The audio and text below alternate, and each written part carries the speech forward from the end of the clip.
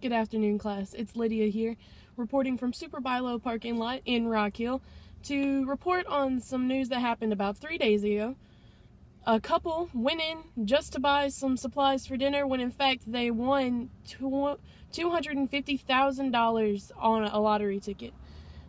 Um, they walked in just to get food for their dinner when in fact they got to go out for a fabulous steak dinner instead to celebrate with their new winnings both in shock. They, the husband said that it was definitely life changing to have this much money.